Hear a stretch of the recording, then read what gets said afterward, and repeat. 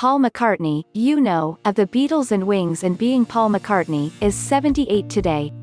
Born in Liverpool on June 18 in 1942, McCartney and his schoolmate George Harrison joined with John Lennon and his band The Quarrymen when they were all teenagers, thus launching the most successful songwriting collaboration in the history of pop music. For all their accomplishments and glory, McCartney has prided himself on keeping the Beatles held in a humble perspective.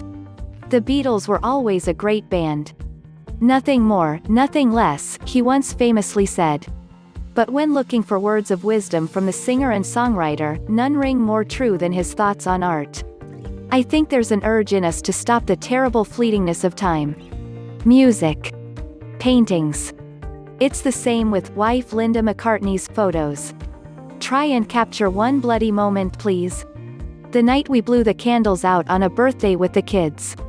Capture it, please, McCartney told the New Statesman in 1997. Here are some of the many other quotes McCartney has said over the years, on topics ranging from vegetarianism to the preciousness of life itself. If slaughterhouses had glass walls, everyone would be vegetarian, McCartney and his first wife, Linda, were known to have said. The couple became vegetarians in the 1970s and were lifelong animal rights activists. The quote became a central part of a PETA video campaign in 2013. That's not the only well-known McCartney quote related to animal rights. McCartney shared several quotable gems in a 1984 interview with Playboy, including thoughts on his hometown and the elusive true nature of the Beatles. Between the deaths of John Lennon, Linda McCartney and George Harrison, the latter two lost to cancer, McCartney has some experience with personal tragedy. His remembrance of his final time with Harrison is particularly moving. He'd always felt like my little brother, McCartney told the Mirror two years after Harrison's death.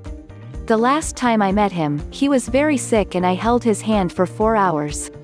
As I was doing it, I was thinking, I've never held his hand before, ever. This is not what two Liverpool fellas do, no matter how well you know each other. I kept thinking, he's going to smack me here. But he didn't, McCartney continued. He just stroked my hand with his thumb and I thought, ah, this is okay, this is life. It's tough but it's lovely. That's how it is. I knew George before I knew any of the others and I loved that man. I'm so proud to have known him. But while McCartney is often thoughtful in interviews, with perspectives worth sharing in celebration of his birthday, for the purest experience of his wisdom, it's best to turn back to the music.